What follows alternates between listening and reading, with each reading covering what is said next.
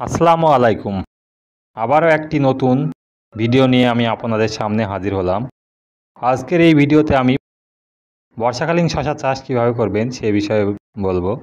আর আপনারা দেখছেন কৃষি বিষয়ক ইউটিউব চ্যানেল ফার্মাস ফ্রেন্ড। শশা চাষের জন্য আমাদের কেমন আবহাওয়ার প্রয়োজন হয়? শশা উষ্ণ জলবায়ুতেও খুব ভালো হয়। আঠারো থেকে চব্বিশ ডিগ্রি সেন্টিগ্রেড তাপমাত্রা হলে খুব ভালো হয়। বেশি আর্দ্রতা ও দিনের দৈর্ঘ্য যদি ছোট হয় তাহলে স্ত্রী ফুলের সংখ্যা বেশি হয়। মে মাসের শেষ থেকে জুলাই মাস পর্যন্ত আমরা জমিতে শশার বীজ রোপণ করতে পারব।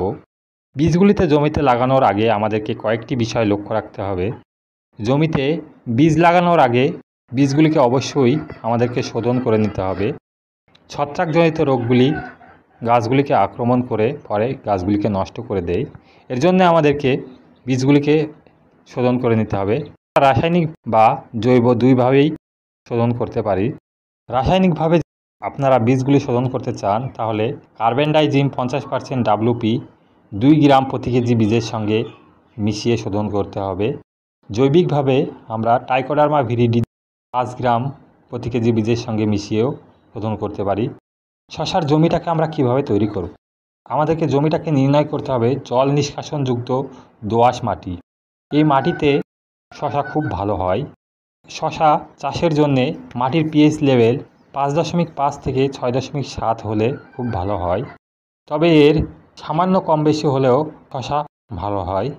এবার আমাদেরকে জমিটাকে তিন চারটি চাষ ও মূল সার দিয়ে ভালো করে জমিটাকে তৈরি করে নিতে হবে।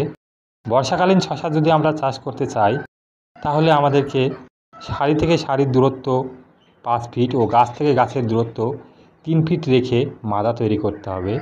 হাইব্রিড জাতের শশা যদি আমরা জমিতে রোপণ করি, তাহলে দুটো জাত বেছে নিতে হবে। কেননা, কোনো কারণবশত যদি একটি জাত খুব ভালো না হয়, তাহলে পরের জাতটি আমাদের খুব ভালো শশার ফলন দেবে। এখানে আমি আপনাদের জন্যে কয়েকটি ভালো জাতের বীজের নাম বলছি। সেগুলো আপনারা যদি চাষ করেন, তাহলে খুব ভালো শশা পাবেন। বর্ষাতি পয়েন্ট সেটি। ভিএনআর এফ ওয়ান বালাখিরা পান্তখিরা টাইকোজিন কোম্পানির সেভেন স্টার এই সমস্ত বীজগুলি আপনারা ব্যবহার করলে ভালো ফলন পাবেন। আমরা যখন জমিতে মাদায় বীজ বপন করব, তখন আমাদেরকে লক্ষ্য রাখতে হবে, বীজগুলি যেন দুই সেমি থেকে দুই দশমিক পাঁচ সেমি পর্যন্ত গভীরে থাকে।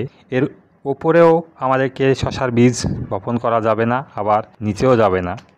প্রত্যেক মাদায় আমাদেরকে চার থেকে পাঁচটি বীজ বপন করতে হবে। পনেরো দিন পর দুটি সবল চারা রেখে বাকি চারাগুলিকে তুলে ফেলে দিতে হবে। এভাবে বীজ বপন করলে বিঘাপতি আমাদের বীজ লাগে। উন্নত জাতের বীজ হলে তিনশো থেকে চারশো গ্রাম, শঙ্কর জাতের বীজ হলে ষাট থেকে সত্তর গ্রাম। অনেক সময় দেখা যায় সঠিক পরিচর্যার অভাবে আমাদের ফসল নষ্ট হয়ে যায়। এর জন্য আমাদেরকে সঠিক পরিচর্যা অবশ্যই করতে হবে। জমিতে আগাছা থাকলে নিড়ানি দিয়ে পরিষ্কার করে দিতে হবে। বর্ষার শশা চাষ করতে হলে আমাদেরকে বেড তৈরি করে চাষ করতে হবে। এক্ষেত্রে সুবিধা হচ্ছে অতিরিক্ত জল বেডের ড্রেন দিয়ে বাইরে বেরিয়ে যাবে। জমিতে জল জমে থাকবে না। সঠিক নিয়মে জমিতে সার প্রয়োগ করতে হবে। জমি তৈরির সময় আমাদেরকে বিঘাপতি গোবর সার দশ কুইন্টাল, ইউরিয়া আঠারো কেজি ও ষোলো কেজি দশ ছাব্বিশ ছাব্বিশ সার দিতে হবে। সঙ্গে দিতে হবে দু কেজি অ্যাজোফস। তবে মনে রাখবেন, গোবরের সঙ্গে অ্যাজোফস সার মিশিয়ে জমিতে সাত দিন আগে প্রয়োগ করতে হবে, রাসায়নিক সার প্রয়োগ করার আগে।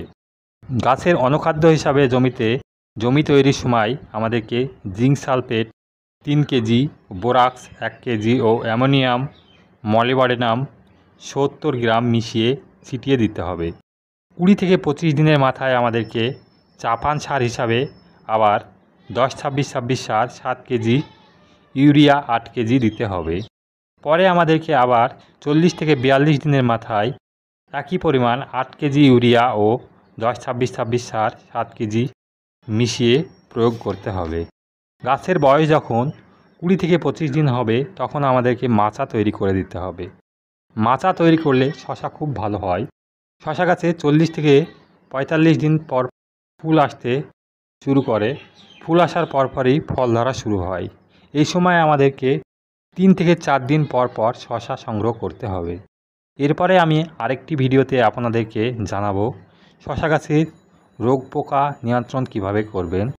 এই বর্ষার মৌসুমে শশা চাষের জন্য ভিডিওটিকে বেশি বেশি করে শেয়ার করুন, লাইক দিয়ে আমাকে উৎসাহিত করুন, আমার চ্যানেলে নতুন হলে চ্যানেলটিকে অবশ্যই সাবস্ক্রাইব করে রাখুন এবং পাশে থাকা বেল আইকনটি বাজিয়ে রাখুন।